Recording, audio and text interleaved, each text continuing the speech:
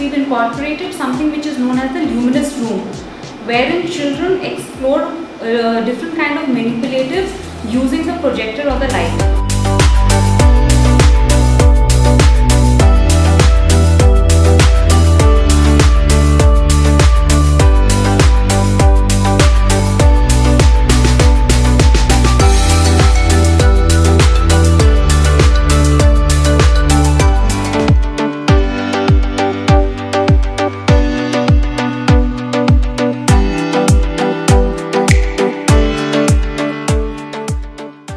Marvel at the colors and the shadow play.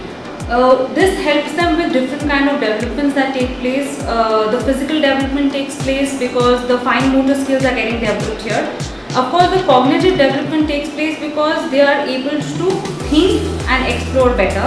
Apart from this, we also have the uh, concepts of the mathematical developments that take place because children are able to understand the sequencing uh, linguistic development takes place because there are different words that the children are able to learn during this.